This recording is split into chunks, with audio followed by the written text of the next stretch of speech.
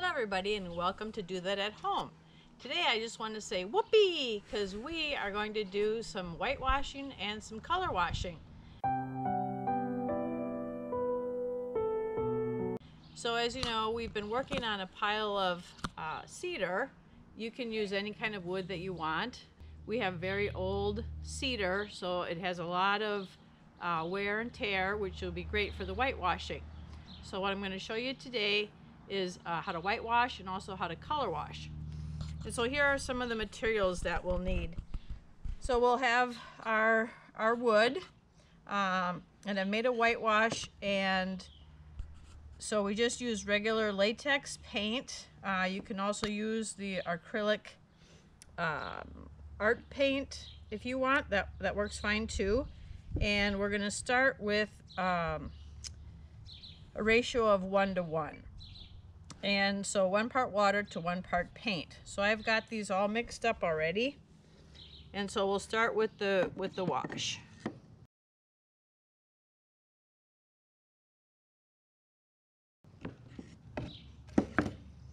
So as I said this is old wood and it's going to probably soak it up pretty quickly.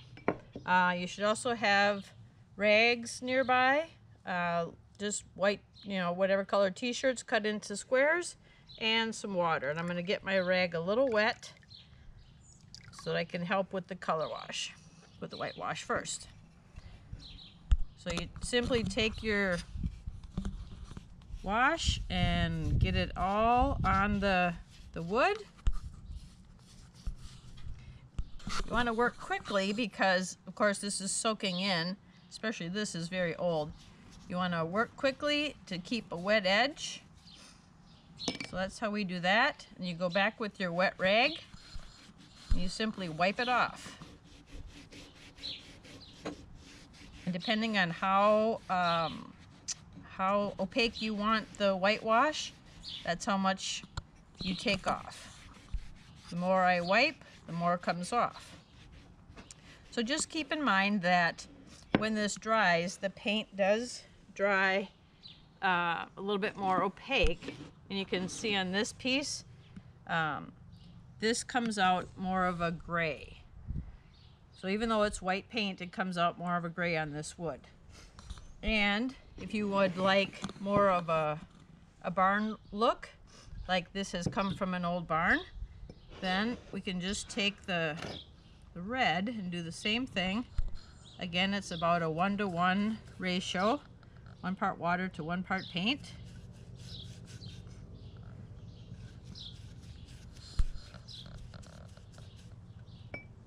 Take our rag, get it a little wet. This one has a little white still on it. That's okay.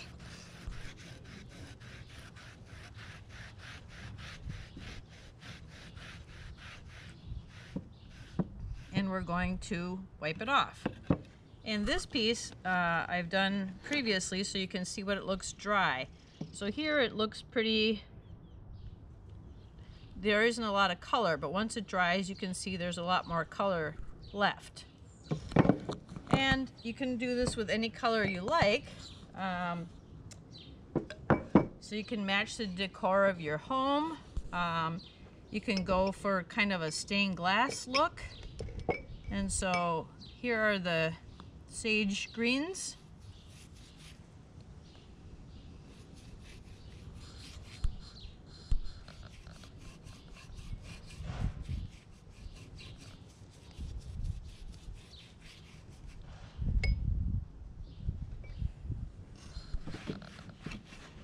We simply wipe it down and the green tones will stay in there. We have a we have a green right here. So this is kind of a comparison of this is what it will look like when it's dry and this is what it looks like when it's wet.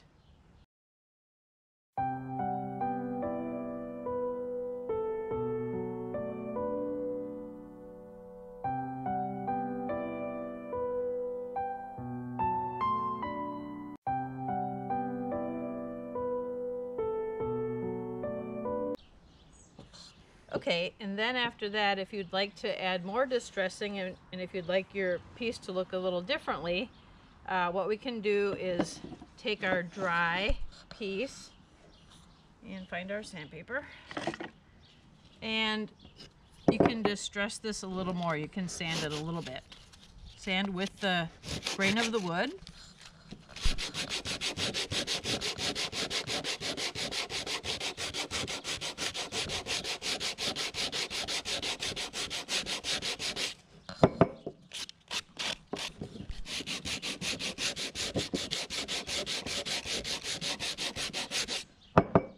There you've taken off some of the the color and then you can take a stain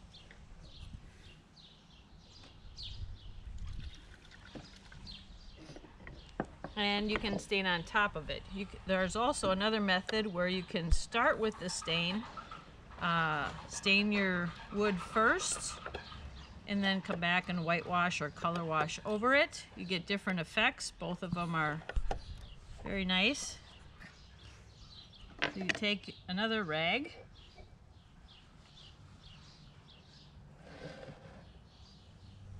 Dip it in your stain.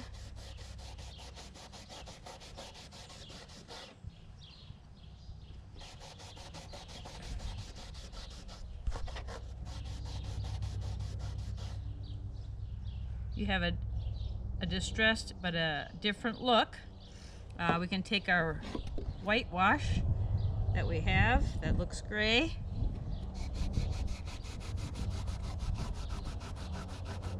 And if you don't um, get it, you know, soggy wet, you can have a very nice look. Here you can see that the stain is sticking to the ups but not the downs. The not going in the valleys but sticking to the mountains so you have a really nice look at that point. And you can do this as much as you want. Um, and then if we go to our barn look which is a little pink uh, the stain should knock this right down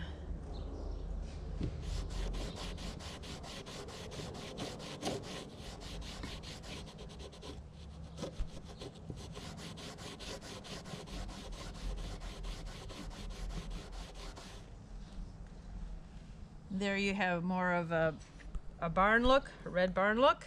Um, and then when this is all done, when your uh, stain has thoroughly dried, we simply take some polyurethane and apply a coat of polyurethane to the top or two, depending on uh, how much time you want to put into it. And basically you're done. Uh, you can do this on picture frames. You can, there's all sorts of projects you can do this on.